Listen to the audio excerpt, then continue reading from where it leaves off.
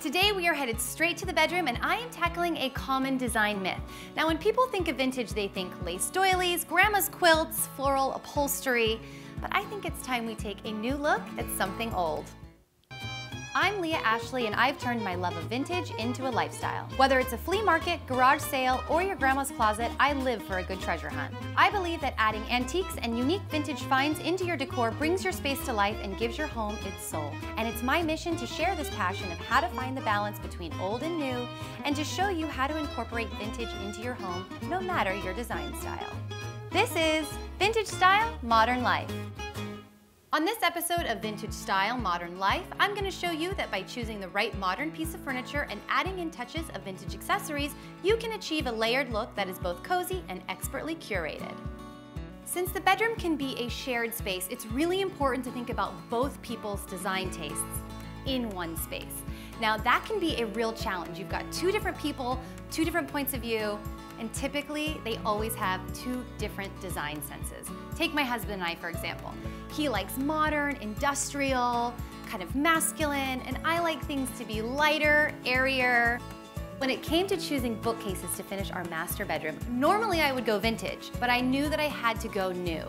We ended up choosing these bookcases from the Design Network because they are simple and they had elements that we both loved. The steel and dark wood feel a bit masculine and at the same time I love how open they are. I also love the distressing of the wood and the little bit of blue that shines through on the finish. The bookcases are both sturdy and charming and will be a great place to show off my different collections of curiosities. Now, styling the bookcase can be an art all in itself. It is so easy to end up with cluttered shelves because you just keep adding things. Now, just because your shelves can hold a lot of stuff does not mean that they should. Now, especially in the bedroom, we wanna think clean, chic, not cluttered. So I decided to go with all accessories that are neutral in color. I always start with the largest objects first. So on my side, I started with these really cool vintage orchard baskets. They're fun, they've got a little bit of color, not too much, but what I love about them most is you can put stuff in them. They're a great way to add a little bit of extra storage to your room.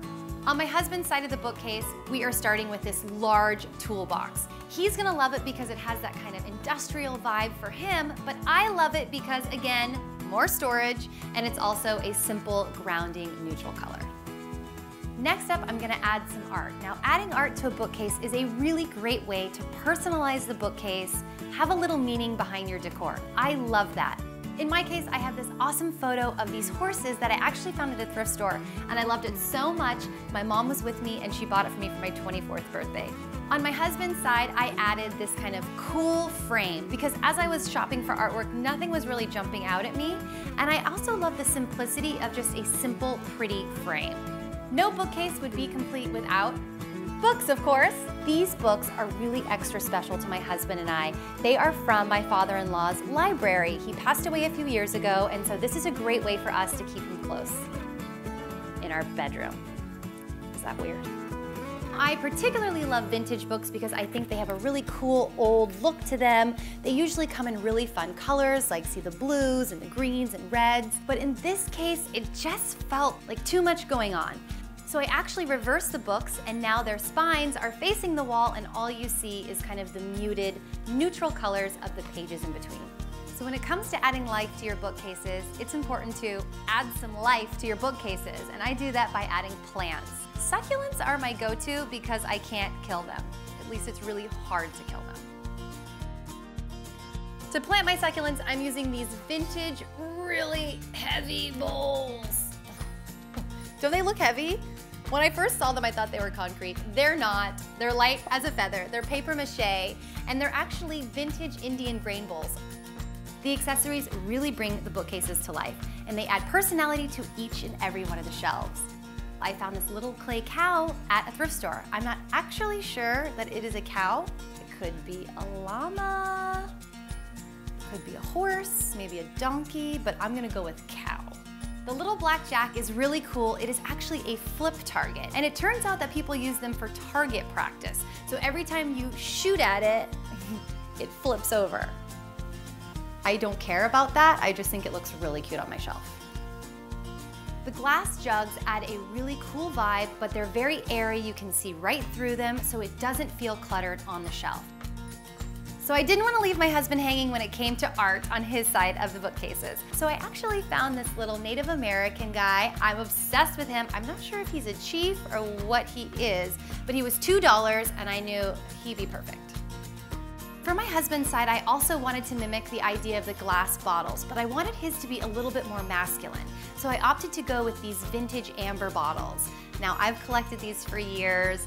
One of them is an old Clorox bottle, and I don't know what the other two are. To complement the big toolbox, I had to add this smaller toolbox. I love this little toolbox and its details are great and I just think it really goes with the rest of the room and kind of pulls in the green of the succulents. Adding a little bit of antique pottery is a great way to just give your bookcases a little bit of a grounding element. I found these two pieces at someone's garage sale, and I'm not quite sure what the little Japanese one is. I think teapot? My husband and I actually have matching hands on each side of our bookcases. Now, it's a really fun story. I found his peace sign hand at a thrift store in Santa Monica, California, seven years ago.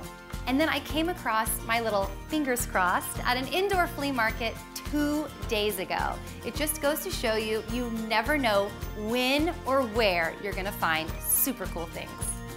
Overall, I'm really happy with the way these bookcases from Dovetail turned out. They are simple, clean, and color coordinated.